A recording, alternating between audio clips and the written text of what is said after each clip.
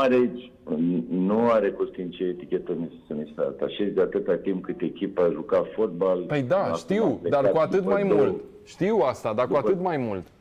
După două etape nu am pierdut, nu am primit gol. Nici mă, sunt trei echipe în campionat, uh, echipe care nu au primit gol. Nu? Suntem noi, este Rapidul și Universitatea Craiova, Rapidul și Sepsi. Da. Trei echipe din 16 care nu au primit gol și eu plec de la echipă. Dar asta este viața. Chiar nu am să reproșez, sincer, nimic nimănui. Uh-huh. Asta a fost decizia patronului, decizia clubului. Ne-am întâlnit, am vorbit, am ajuns la o înțelegere, pentru că nu sunt nici genul de om uh, să mă leg cu lanțul să, de porțile stadionului, de poarta după stadion, nu știu, să, să mă arunc pe jos, să plâng, să, nu știu, să, să joc teatru ca să rămân la, la echipă. Știi foarte bine că aici sunt crescut la Craiova, am jucat atâția ani, am obținut rezultate, am avut uh, performanțe, am câștigat trofee, dar asta este viața noastră în general în fotbal și jucători și antrenori. La un moment dat nu, se iau niște decizii, că sunt bune, că rele, nici nu mai contează, nu știu.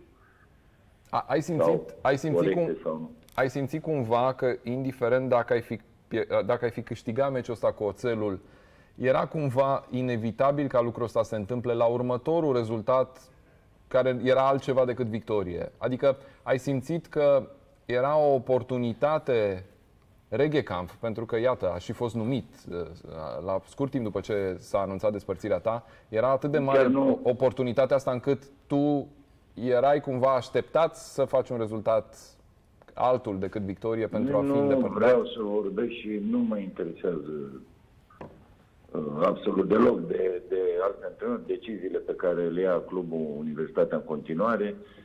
Mm, chiar nu știu, nu m-am gândit la așa ceva, nu sunt persoană să trec așa cu presiunea aulor ce facem mâine, că dacă nu da. câștigăm, da. vine X, chiar nu m-a interesat. Da. Deci Nicio, niciodată, la nicio echipă nu, nu am fost interesat de ce se vorbește prin, prin spațiu public. Niciodată nu, nu m-am luat în seamă, mă rog, anumite zvonuri, pentru că știu foarte bine și știi și tu cum se procedează, cum sună anumiți oameni, cum păi, se autopropun. Ei nou, chiar nu mă interesează lucrurile astea, nu știu și chiar nici nu vreau să vorbesc. Nu mi-aduc aminte ca Universitatea Craiova să și dominat adversarii în play-off așa cum mi-am dominat noi în play-off-ul trecut. Sincer, dacă mi-aduce jocurile din play-off-urile anterioare, în anii anteriori, înseamnă că eu nu văd, nu văd foarte bine, cu toate că am și ochelari. Pot și ochelari acum. Așa. Da, dar da. trebuia pragmatism probabil mai mult.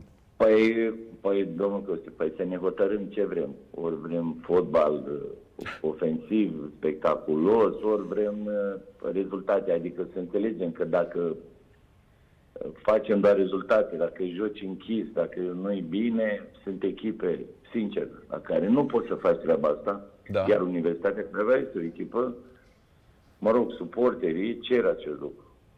Să, să producă un fotbal uh, spectaculos, cu multe ocazii, cu multe faze de, de poartă, cu goluri, cu noi ne cream foarte multe situații. Da, Costin, și asta este situația. Chiar nici nu vreau să mă plimb, dar asta este, mă rog, nu decid eu, nu depinde numai de mine.